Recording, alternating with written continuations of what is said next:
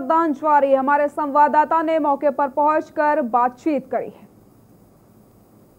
उन्नाव के बांगरमो विधानसभा क्षेत्र अंदर मतदेय स्थल एक सौ पचासी में खड़े हुए हैं। यहाँ पर सुबह से लगातार मतदान जारी है।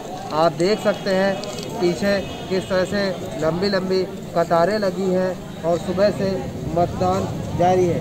हमारे साथ यहाँ पर यहाँ के एक वोटर हैं जो कि मौजूद हैं। हम इनसे बात करेंगे और जानेंगे कि किस मुद्दे पर और कैसा जनप्रतिनिधि चाहते हैं। आपका क्या नाम है? मेरा नाम मोहम्मद याद है।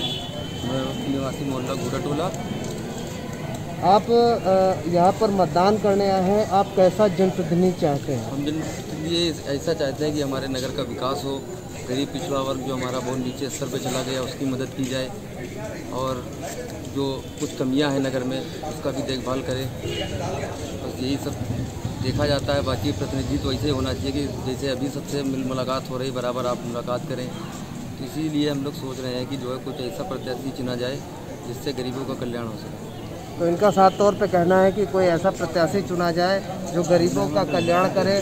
साथ में ही जो नगर का है बांगरमऊ विधानसभा का है, विकास करे, ऐसे प्रतिनिधि को चाहते हैं। अब देखने वाली बात ये होगी कि चुनाव रिज़ल्ट आने के बाद में इन लोगों को कौन सा प्रत्याशी चुन, चुनते हैं। राहुल अवस्थी के न्यूज़, उन्नाव। उन्नाव के